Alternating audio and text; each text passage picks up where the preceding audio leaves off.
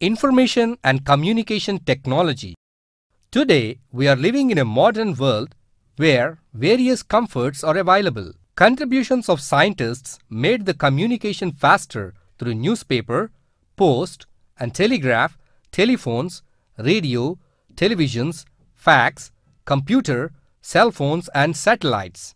Information and communication technology is a branch of science which deals with utilization of computers and telecommunication for betterment of our day-to-day life. Computer is a machine which works accurately and very fast. It can solve all sorts of complicated problems in short time with accuracy. Man cannot do same work repeatedly with the same efficiency, whereas the computer can do it any number of times and any length of time with same efficiency and accuracy. Computer can save lot of data and programs in it. It can store the data and display it whenever we require it. The main parts of a computer are CPU, Central Processing Unit, monitor, keyboard and mouse.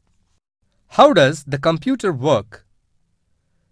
Computer works on the principle input, process, output. The data and instructions given to the computer through input devices are processed in the central processing unit and results are displayed through the output devices. Input devices 1. Keyboard. Its function instructs the computer by typing the data. 2. Mouse. It selects the item on the monitor. It gives instructions. 3. Scanner scans the picture and saves in computer. Microphone it records the sound. Web camera it records the scenes. Processing analyzing the data following the instructions and giving result is known as processing. A group of commands used for processing is called computer programming. CPU of computer understands and reads the instructions and processes the information. There are three units in CPU namely control unit, memory unit and arithmetic logic unit. In CPU, the signals from input devices are analyzed by control unit. These signals are stored temporarily in the memory unit. Analyzed signals, data and commands are sent to arithmetic logic unit and find solutions for mathematical and logical problems. After completing the calculations, results are sent to the output devices. Output devices 1. Monitor Looks like television screen.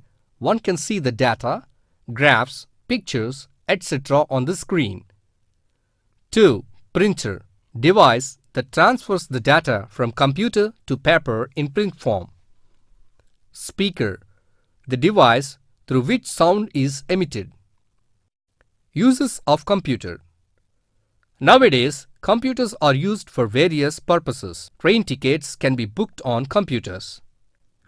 In Hyderabad, one can book tickets from Chennai to New Delhi. Money can be drawn from any bank other than the account holding bank. Computers made it possible to draw money from ATM, Automated Teller Machine, anywhere in India and at any time. Different websites on internet provides vast information. Governance and other activities are quickly done by using internet. One can send mails to friends and relatives in different places in few minutes through email.